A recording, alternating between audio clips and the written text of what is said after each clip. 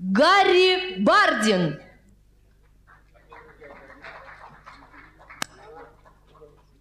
Если можно, четыре строчки.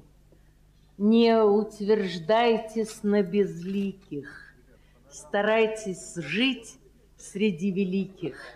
Все, кто сегодня в этом зале, не в горизонте, в вертикали, я откровенно вам скажу, всегда с великими дружу.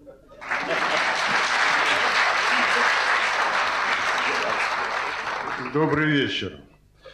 Я хочу сказать, что вообще принято делать подарки у друзей.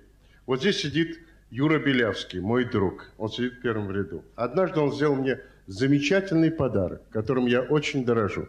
Это один раз. Это Карина Филиппова. Он меня познакомил с этой женщиной и, конечно, с Борей Диодоровым. Я собирался признаваться в любви и, в общем, сделаю это. Вообще, говорят, любят не за что, а потому что. Но это Боря. Любит потому что. И никак не аргументирует. Я пытался за кулисами разобраться, почему к ней тянутся. И молодые. Посмотрите, у них э, вообще проходной двор, дом колхозника. У них никогда не пустует квартира. Это старая московская квартира, которая никогда, мне кажется, не запирается. И э, причина в чем? Причина в том, что, ну, во-первых, мы оказались с Кариной э, побратимы, потому что школа-студия МХАТ – это наша альма-матер, и столько воспоминаний, сколько у нас не оказалось, это просто уйма, что нас сближает. Поэтический дар вы, я стоял за кулисами и слушал, вы оценили по достоинству, потому что человек, она очень тонкий.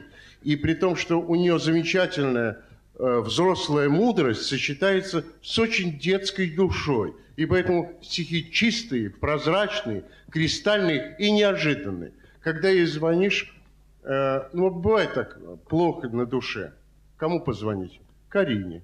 Карине звонишь, и первое, что она говорит, радость моя, Боря, иди сюда, кто звонит? Она тут же делится мной с Борей, как большим подарком. И дальше нужно сказать, что ну, в горе, конечно, друзья приходят на помощь. И это нормально. И у нас, особенно у нас в России. А вот в радости, это, вы знаете, нужно иметь характер. Больше всех в Москве моим успехом радуется Карина. И это правда. Я хочу сказать, что это удивительный человек. По доброжелательности – по тому, вот я бы, вот есть замечательное э, русское слово «благовест».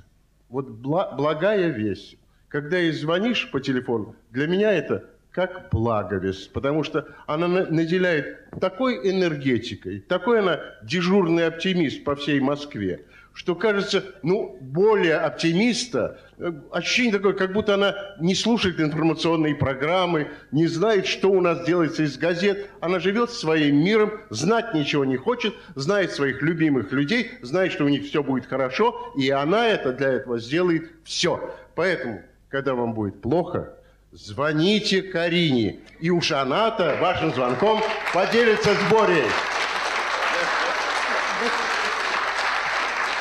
Спасибо.